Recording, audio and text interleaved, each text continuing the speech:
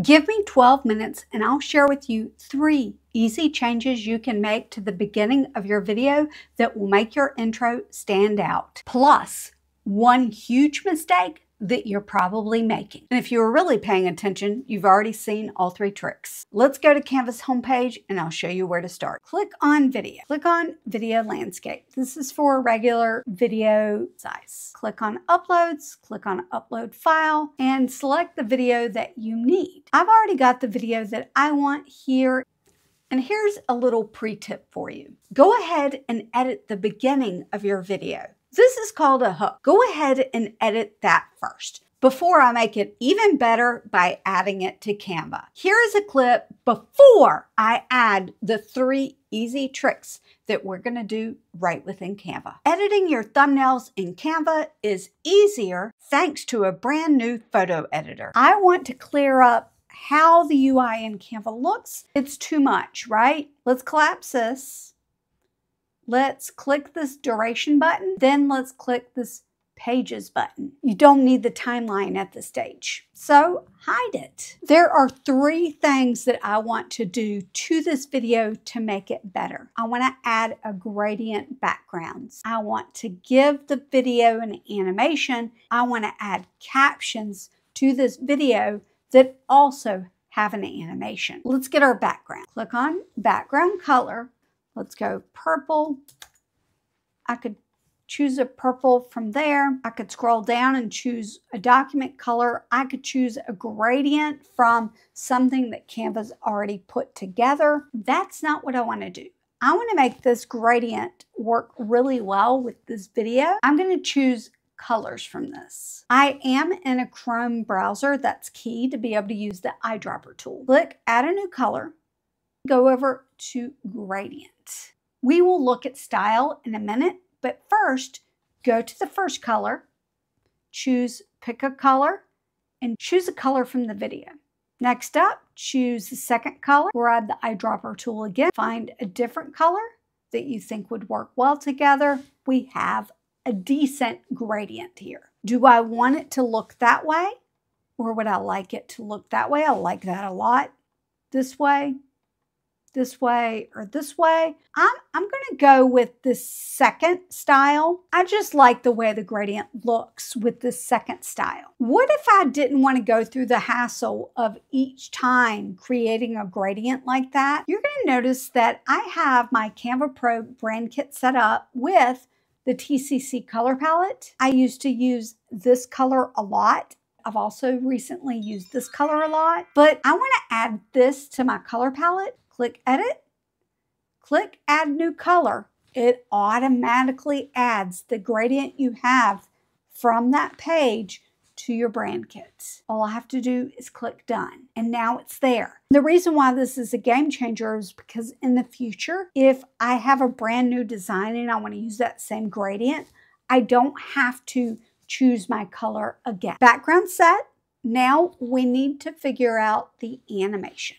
Left click on your mouse and size your video to the size of the backgrounds and then click animate. There are a bunch of video animations. I filmed this next segment and part of the animations were actually missing. I didn't let that throw me though. I used my backup animation for this, but I do want to show you the animations that weren't there when I filmed this. The animations that were not there were these at the top with featured. And some of them are really fun. And also, I don't think reveal was there either with any of the reveal animations. I have done a recent updated video animation tutorial. If that is something that you are interested in, leave a comment in the description and leave a comment in the description. Leave me a comment and just let me know you want the updated animation tutorial. Basically, you want an animation that's really going to stand out. I think for this one, I'm going to use Succession on Enter, and then I'm going to see, do I need to speed it up a little bit? Yes, I do. Speed and intensity are Canva Pro features. I want to check my animation, right? I want to go back to that timeline. Show page thumbnail and duration. Let's see.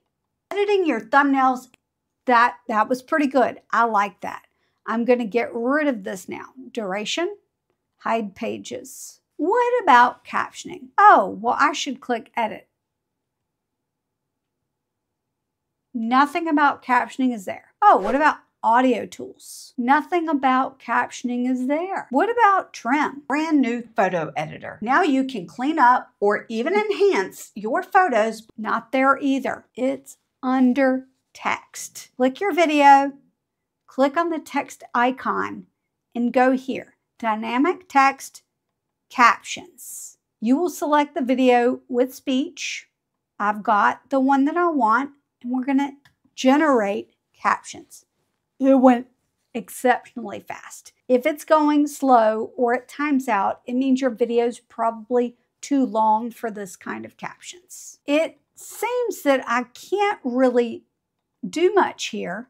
And remember earlier when I said that there was a fluke and that all the animations weren't there? Well, guess what?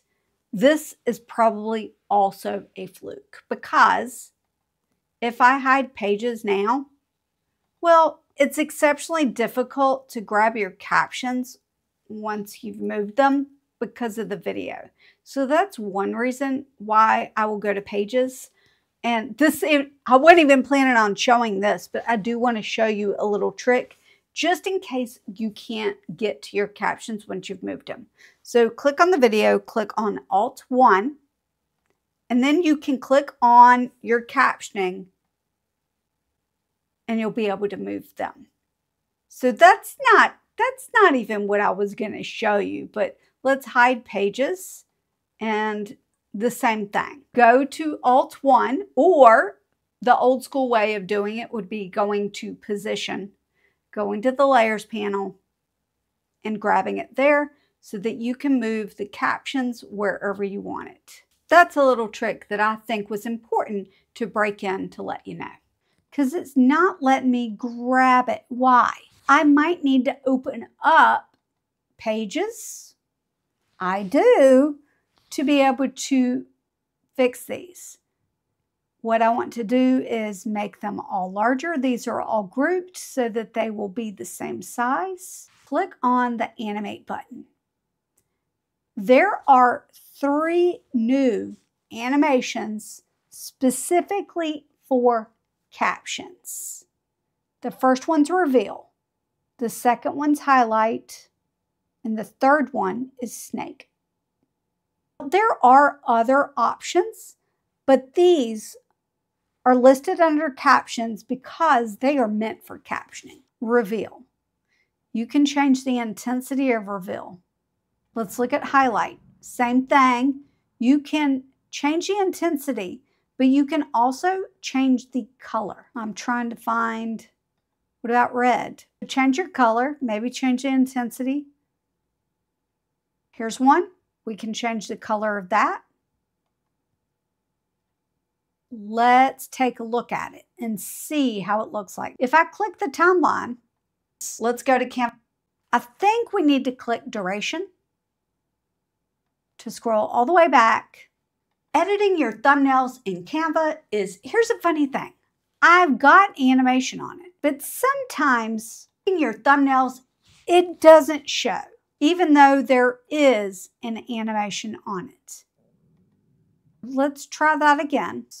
Editing your thumbnails in Canva is easier thanks to a brand new photo editor. I like this, but I want my words to go down a little bit. So I'm going to take this and I'm just going to bring them down a little bit. Here we go. Editing your thumbnails in Canva is, I want it to go down a little more.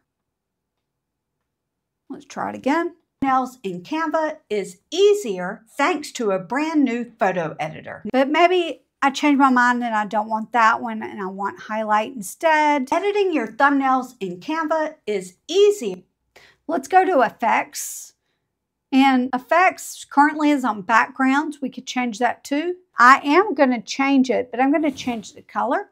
It allows you to focus on the image first without distractions. Let's go to Canva's homepage and I'll show you where to start. What would you do from here? Download it. I'm going to call it intro clip, click share, download, MP4 video.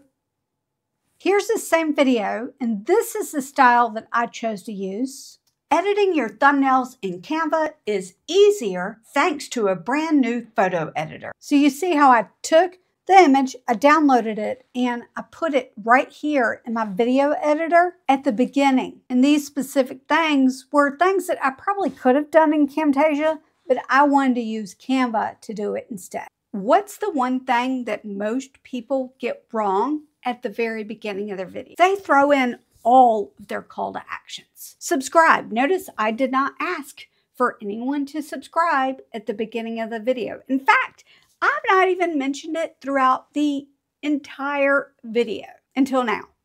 If you're not, make sure you're subscribed if you want more content like this where I show you how to use Canva for your YouTube channel. I also did not ask you to like the video, to thumbs up the video, to boop, hey Nate, to boop the like button. I didn't ask for any of those at the very beginning. A lot of people ask for all of that at the beginning of the video before they've even given any value. Give value first, and then throughout the video, if you want to add those call to actions, you can do. I try to stick to one or two a video, and sometimes I don't even verbally say it. I will pop something up on the screen that will say, Have you joined my membership yet?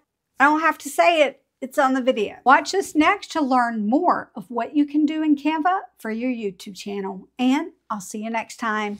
Bye.